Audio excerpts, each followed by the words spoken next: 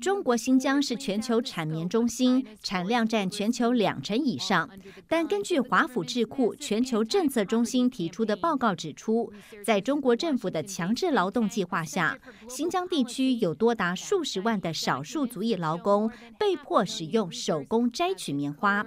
透过报告显示，新疆内部三个维吾尔族为主的区域，二零一八年送了至少五十七万人去摘棉，作为国家强迫劳动力转移计划的一环。然而，据研究者估计，被迫参与新疆摘棉的总人数恐比上述数字多出几十万。对于上述相关指控，中国外交部强烈否认，并宣称透过训练、工作计划以及改善教育，有助于扑灭区域的极端主义，同时反控美国想打压新疆企业。新疆各族劳动者根据自己的意愿选择职业，本着平等自愿的原则，与企业依法签订劳动合同，不会因民族、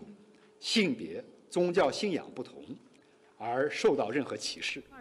全球政策中心的报告引述政府文件表示，劳动力转移计划的参与者被警方严密监控，进行点到点式转移、军事化管理和意识形态训练。报告并指出，中国官员有强烈意识形态动机来实施这项计划，因为这可以某种程度上提高乡村收入，让官员达成国家下令的减贫目标。装设综合报道。Reaching implications for the global